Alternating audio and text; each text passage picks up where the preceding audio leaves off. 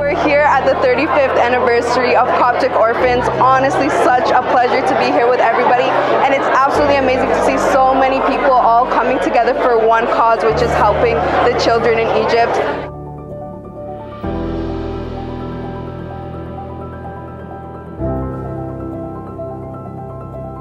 Good evening and welcome to our celebration. I can't tell you how happy we are for you to be with us to celebrate together. Today you are here to get and not to give. To get inspired by the stories of the heroes, our children, that actually managed to go through lots of difficulty and prosper.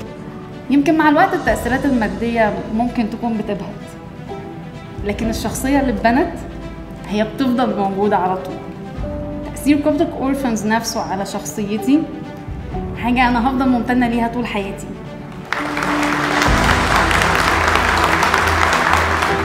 From your generation to Barbara's generation to my generation, we are passing the torch.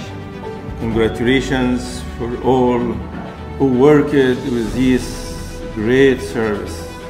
This is not just Miriam's story, it is the story of thousands of children whose lives have been transformed by Coptic orphans. Let me welcome the Leading by Example Award recipients, Dr. Mark Boulis and Dr. George Ibrahim.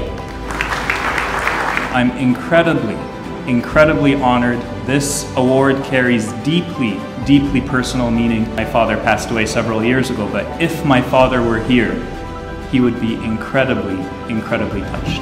Thank you.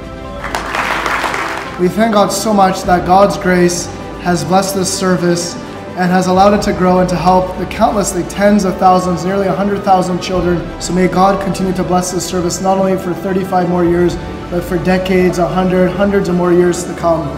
35 years of building a connection, of strengthening a community, of becoming not just another charity, but a pillar of the Coptic community.